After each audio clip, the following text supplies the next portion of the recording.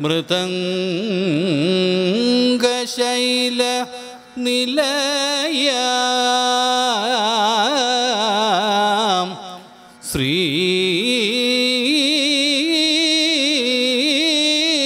പോർക്കലി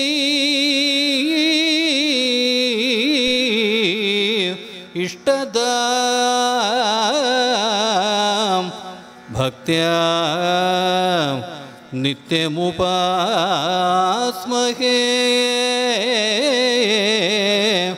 सपदि सापदिनं कुर्वमी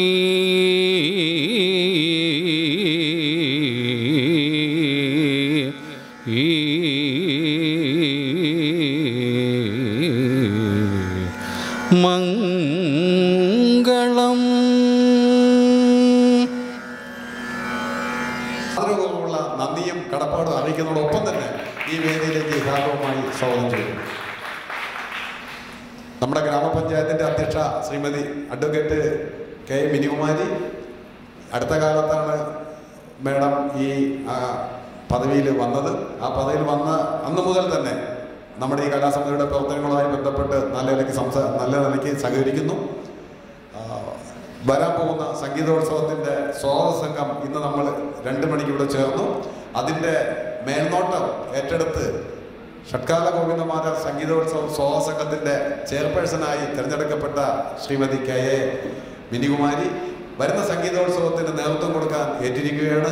ആ സംഗീതോത്സവത്തിന്റെ നേതൃത്വം ഏറ്റെടുത്ത് വലിയൊരു രാമമംഗലത്തിന്റെ ദേശീയ ഉത്സവമായി സംഗീതോത്സവത്തെ മാറ്റാനുള്ള പ്രവർത്തനങ്ങൾ ഏറ്റെടു ഏറ്റെടുത്തിരിക്കുന്ന അഡ്വക്കേറ്റ് കെ. എ. മിനികുമാരിയെ ഈ വേദിയിലേക്ക് ഷട്കാല ഗോവിന്ദമാര കലാസമിതിയുടെ പേർക്കും നാട്ടുകാരുടെ പേർക്കും ഹാർദവുമായി സ്വാഗതം ചെയ്യുന്നു. വേദിയിലിരിക്കുന്ന ശ്രീ പോളി വർഗീസ് നേരത്തെ ഞാൻ പറഞ്ഞു അതും ഞാൻ കൂടുതൽ പരിചയപ്പെടുത്തുന്നില്ല. അതും പോൾസാർ പരിചയപ്പെടുത്തിയാൽ അതിന്റേതായ നിലയ്ക്ക് നിങ്ങൾക്ക് മനസ്സിലാവും.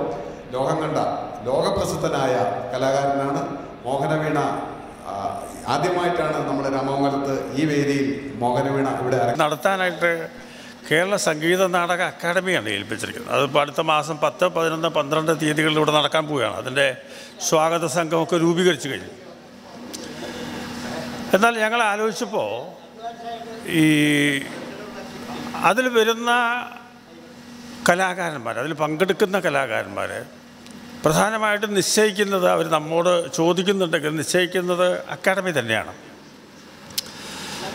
എന്നാൽ ധാരാളം ആളുകൾ ധാരാളം കലാകാരന്മാർ ഈ ഷക്കാല ഗോവിന്ദമാരാരുടെ ജന്മസ്ഥലത്ത് വരണം എന്ന് ആഗ്രഹിക്കുന്നവരുണ്ട്. അപ്പോൾ അവരെ തന്നെ അക്കാഡമി വിളിച്ചോളണമെന്നില്ല. അക്കാഡമിയുടെ ലിസ്റ്റ് വേറെയാണല്ലോ. അപ്പോൾ അദ്ദേഹത്തിന്റെ സ്മൃതി ഗോവിന്ദമാരാരുടെ സ്മൃതി അദ്ദേഹത്തിന്റെ ഓർമ്മ അദ്ദേഹത്തിന്റെ നാമം എങ്ങും എങ്ങും എത്താനായിട്ട് കേരളത്തിന് പുറത്തുള്ളവരും അക്കാഡമി ക്ഷണിക്കാത്തവരുമായ കലാകാരന്മാരെ ക്ഷണിക്കാൻ നമുക്ക് സ്വാതന്ത്ര്യമുണ്ട്. നമ്മളൊരു പരിപാടി നടത്തും. അത് ഇന്ന് പിന്നെ പരിപാടി കച്ചേരി നടത്തുന്ന ആൾ പോളി വർഗീസ്. ഞാൻ പോളി വർഗീസിനെ കുറിച്ച് പിന്നെ പറയാം. ഇവിടെ വരണമെന്ന് പണ്ടേ ആഗ്രഹിച്ചിരുന്ന ആളാണ് നാളെ കഥക്ക് അവതരിപ്പിക്കുന്ന മഹാരാഷ്ട്രയിലെ മറാത്ത സിനിമാ താരങ്ങളിൽ ഏറ്റവും മുമ്പ് ഇന്ത്യയിൽ നിൽക്കുന്ന കഥക് നർത്തകിയും കൂടിയായ അതിഥി ഭഗവത്. പഴയ ഒരു സുഹൃത്താണ് അവർ ഞാൻ പലപ്പോഴും പലയിടത്തായിട്ട് വിളിച്ചിട്ടുണ്ട്. തൃശ്ശൂർ തന്നെ രണ്ടോ മൂന്നോ പ്രാവശ്യം വടക്കുന്നാഥനടക്കം അപ്പോൾ എന്നോട് ചോദിക്കാറുണ്ട് why why what is this Ramamangalam? Why it so important I have read about it I would like to be there ഞാൻ പറഞ്ഞു next time you are dancing അതുകൊണ്ടാണ് നാളെ വരുന്നത്.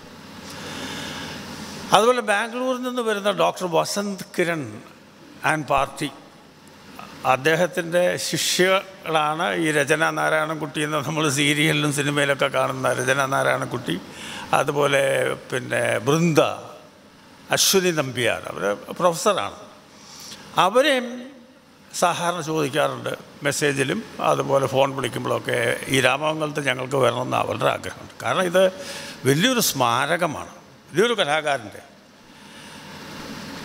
അപ്പോൾ അവർക്ക് ഈ പ്രാവശ്യം അവരെ മൂന്ന് പേരെ ഈ മൂന്ന് പേരെ നമുക്ക് പുറത്തുനിന്ന് വിളിക്കാൻ സാധിച്ചു. അത് മാത്രമല്ല നമ്മുടേതായിട്ടുള്ള കലാരൂപങ്ങൾ ഇപ്പം ഇന്ന് ഇവിടെ നടന്ന എന്താണ് പരുഷവാദ്യം ഉരവന രാജേന്ദ്രമാരാരുടെ നേതൃത്വത്തിലുള്ള പരുഷവാദ്യം.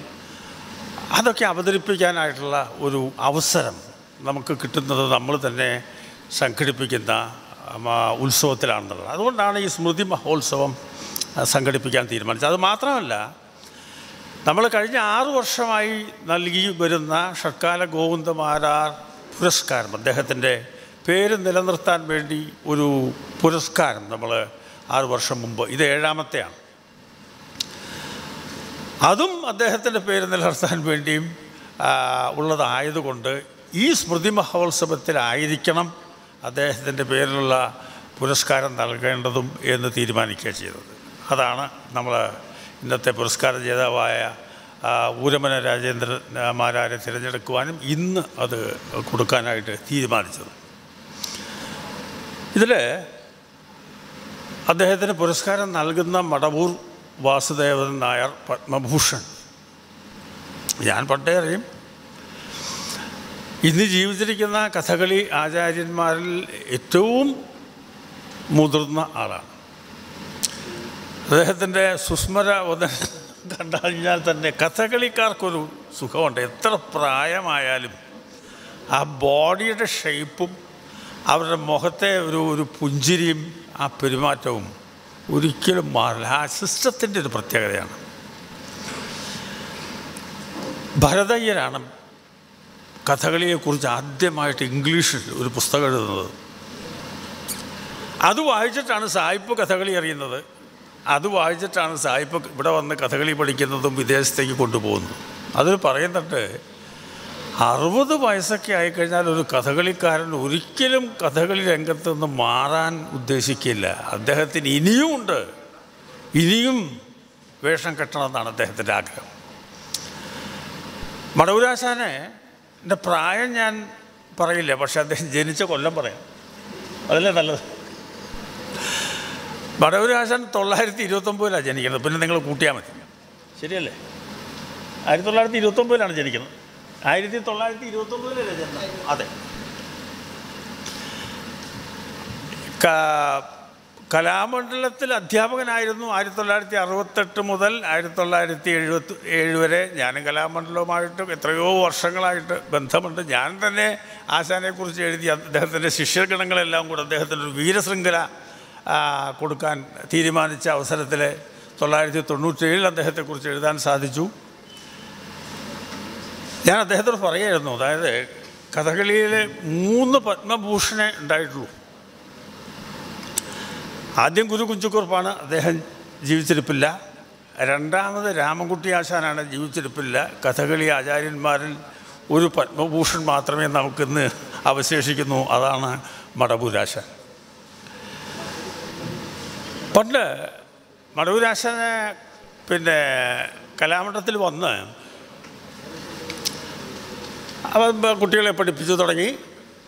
ആ ഇടയ്ക്കാണ് തോന്നുന്നത്. അതിന് ശേഷമാണെന്ന് തോന്നുന്നത് എനിക്ക്. ഞാൻ കൃഷ്ണൻകുട്ടി പൊതുവാൾ എനിക്ക് പറഞ്ഞത്. മഹാനായ കലാമണ്ഡലം കൃഷ്ണൻകുട്ടി പൊതുവാ എന്ന് പറഞ്ഞാൽ ഈ ചെണ്ട മാത്രമല്ല കഥകളി മേളം മാത്രമല്ല കഥകളി അരച്ച് കുടിച്ചിട്ടുള്ള ആളാണ് അദ്ദേഹത്തിന്റെ ചില പ്രസ്താവനകൾ എന്നെ പോലെയുള്ള പത്രക്കാർക്ക് വളരെ വളരെ വളരെ രസകരമായിട്ട് എഴുതാൻ എഴുതി പിടിപ്പിക്കാൻ പറ്റുന്ന. ഇപ്പോൾ മടവൂരാശാനെ സംബന്ധിച്ച് അദ്ദേഹം തെക്കൻ കളരിയിൽ തെക്കൻ ചിട്ടയിലെ ആളാണ്. അപ്പോൾ കൃഷ്ണൻകുട്ടി പൊതുവെ ആശാൻ പറഞ്ഞിട്ടുണ്ട് വടക്ക് രാമൻകുട്ടിയും തെക്ക് മടവൂരും എന്ന് പറഞ്ഞിട്ടുണ്ട്. അപ്പോൾ ആ കമ്പാരിസൺ അദ്ദേഹത്തിന്റെ എന്തും മനോഹരമായിട്ടാണ് അത് പറഞ്ഞിട്ടുള്ളത്. രാമൻകുട്ടി ആശാനെ പോലെ തന്നെ തെക്കൻ കളരിയിലെ ഏറ്റവും പ്രഗത്ഭനായ എല്ലാ വേഷവും ഇനി ഞാൻ എടുത്തു പറയുന്നില്ല. എല്ലാ വേഷവും കിട്ടുമെന്ന് മാത്രമല്ല ലോകം മുഴുവൻ സഞ്ചരിച്ചിട്ടുള്ള ആളാണ് ആ രാജ്യങ്ങളുടെ ലിസ്റ്റ് ഞാൻ പറയാൻ ഉദ്ദേശിക്കുന്നില്ല. അങ്ങനെ ഒരു ആചാര്യനെയാണ് നമുക്ക് ഷട്കാല ഗോവിന്ദമാരാർ പുരസ്കാരം സമർപ്പിക്കാനായിട്ട് ലഭിച്ചതെന്നുള്ളതിൽ വളരെ വളരെ വളരെ വളരെ എന്താണ് പറയുക സായുജ്യമോ ഒരു ഒരു വലിയ സന്തോഷമുണ്ട്. കാരണം ഒരു കലാകാരന് പുരസ്കാര സമർപ്പണം തീർച്ചയായിട്ടും വലിയൊരു കലാകാരൻ തന്നെയായിരിക്കും അദ്ദേഹത്തെ ഞാൻ വിളിച്ചപ്പോൾ അപ്പോൾ എനിക്ക് എനിക്ക് സംശയം ഉണ്ടായിരുന്നു എന്നെ ഓർമ്മയുണ്ടോ എന്ന്. അപ്പോൾ ഞാൻ അദ്ദേഹത്തിന്റെ പിന്നെ പ്രഥമ ശിഷ്യനായ കലാമണ്ഡൻ രാജശേഖരൻ ഞങ്ങളെപ്പോഴും കോണ്ടാക്റ്റിലാണ് ഞാൻ പറഞ്ഞു രാജശേഖരൻ എന്നെ ഞാനിങ്ങനെ വിളിക്കുമെന്നൊന്ന് പറഞ്ഞേരെ എന്ന് പറഞ്ഞു വിളിച്ചു. ഞാൻ വിളിച്ചു. അദ്ദേഹം പറഞ്ഞു ഞാൻ എത്തിക്കൊള്ളാം എനിക്ക് വളരെ സന്തോഷമേ ഉള്ളൂ. കാരണം ഈ സ്ഥലത്തിന്റെ പ്രാധാന്യം അദ്ദേഹത്തിന് നമ്മളെക്കാളുള്ള എല്ലാവരെക്കാളും അധികം കൂടുതലായിട്ട് അറിയാവുന്നതാണ്. ആ സാന്നിധ്യം വളരെ വളരെ പിന്നെ സന്തോഷം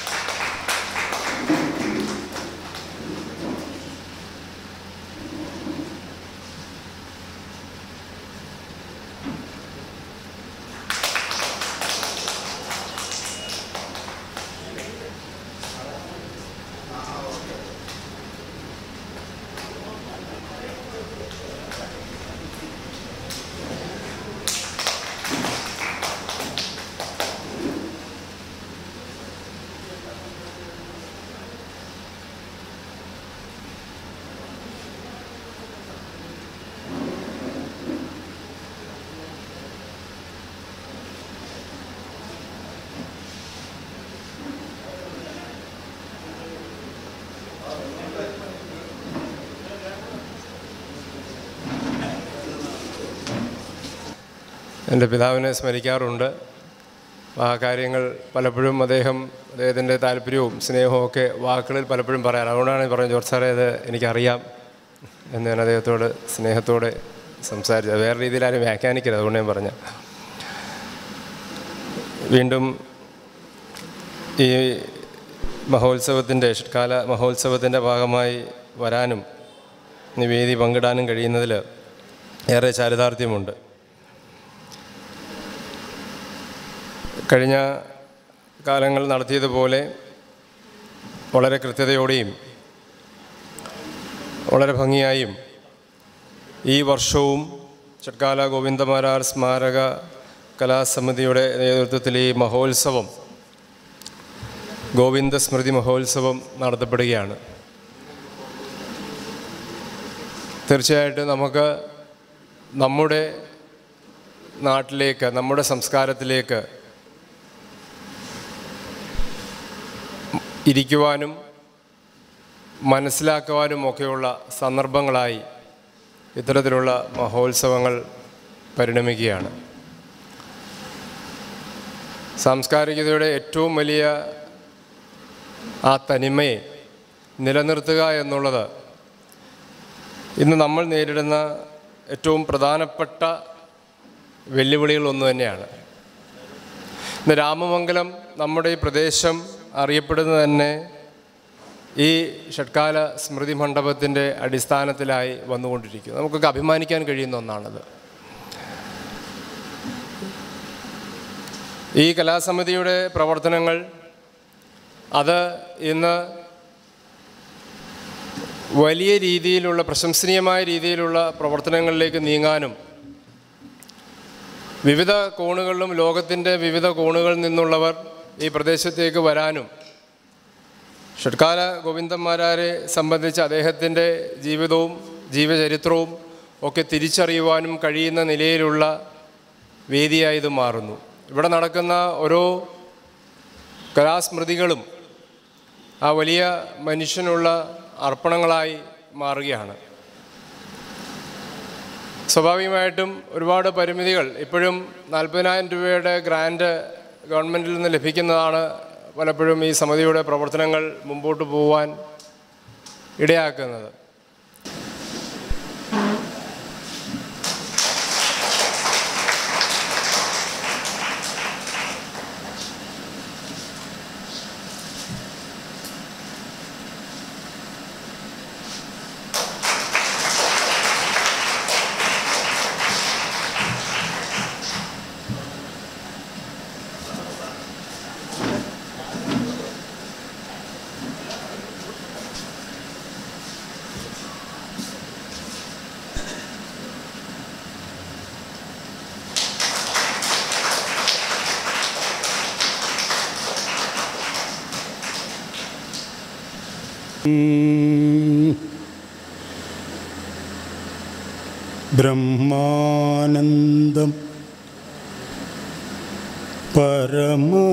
പരമസുഖദം കേവലം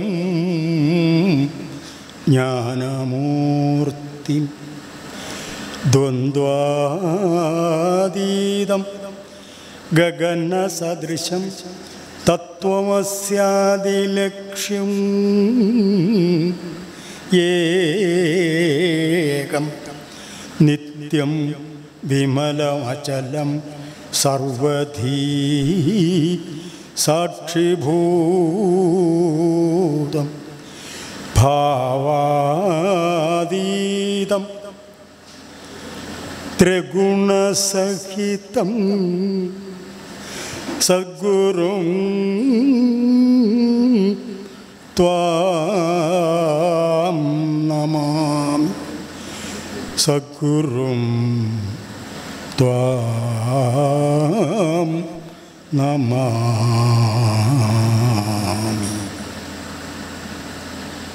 സംഘടിപ്പിക്കുന്നത്.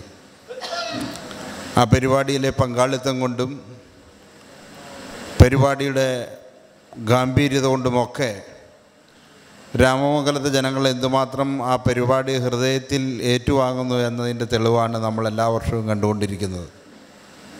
ഈ വർഷം മുതൽ അനുബന്ധമായി ഷഡ്കാല ഗോവിന്ദമാരാർ സ്മൃതി മഹോത്സവം സംഘടിപ്പിക്കാൻ തീരുമാനിച്ചത് എന്തുകൊണ്ടും ഉചിതമായി?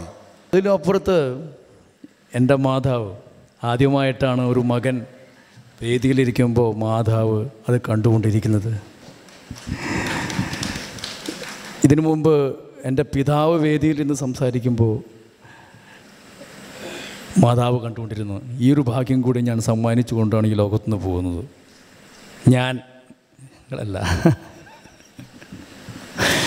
ഞാനിങ്ങോട്ട് വരുമ്പോൾ ഈ സ്ഥലം ഞാൻ ഇന്ത്യയിലെ പല ഭാഗങ്ങളിലും എന്റെ നഗ്നപാതങ്ങൾ കൊണ്ടും അല്ലാതെയും ചവിട്ടിപ്പോയിട്ടുണ്ട് ഇങ്ങോട്ട് വരുമ്പോൾ ഞാൻ ആലോചിച്ചത് എന്തുകൊണ്ട് ഈ വഴിയിലൂടെ മാത്രം ഞാൻ നടന്നില്ല എന്നാണ്. പല വഴിയിലൂടെയും ഞാൻ പാട്ടുപാടി നടന്നു പോയ ഒരാളാണ്. പക്ഷേ ഇത് വളരെ മനോഹരമായ വഴിയാണ്. ഒരു കാലഘട്ടത്തിൽ ത്യാഗരാജസ്വാമികൾ ഷഡ്കാല ഗോവിന്ദന്മാരെക്കുറിച്ച് പറഞ്ഞത് എന്തൊരു മഹാനുഭാവുലു അന്തരീക്കി ബന്ധനമുലു എന്നാണ്. ഈ കലയുടെ ബന്ധം എന്ന് പറഞ്ഞാൽ ആത്മീയമായ സഞ്ചാരങ്ങളുടെ ആത്മീയമായ സഞ്ചാരങ്ങളുടെ ആ സഞ്ചാരങ്ങൾക്ക് പ്രാപ്തമാവുന്ന ഒരു ബന്ധമാണത്. അത് തീർത്തും സ്പോണ്ടേനിയസ് ആണ് പ്ലാൻഡ് അല്ല മര്യാദ രാമന്മാരാവുകയല്ല മര്യാദയില്ലാത്ത രാമനാവുക എന്നുള്ളതാണ് കലയുടെ ധർമ്മം.